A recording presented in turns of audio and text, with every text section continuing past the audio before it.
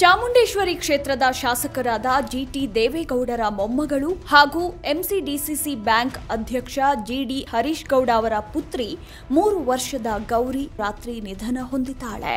ಅನಾರೋಗ್ಯ ನಿಮಿತ್ತ ಬೆಂಗಳೂರಿನ ನಾರಾಯಣ ಹೃದಯಾಲಯದಲ್ಲಿ ದಾಖಲು ಮಾಡಲಾಗಿದ್ದ ಗೌರಿ ಚೇತರಿಸಿಕೊಂಡಿದ್ದಳು. ಇದ್ದಕ್ಕಿದ್ದಂತೆ ಆರೋಗ್ಯದಲ್ಲಿ ಏರುಪೇರು ಉಂಟಾಗಿ ರಾತ್ರಿ ನಿಧನ ಹೊಂದಿದಳು ಎಂದು ಕುಟುಂಬದ ಮೂಲಗಳು ತಿಳಿಸಿವೆ.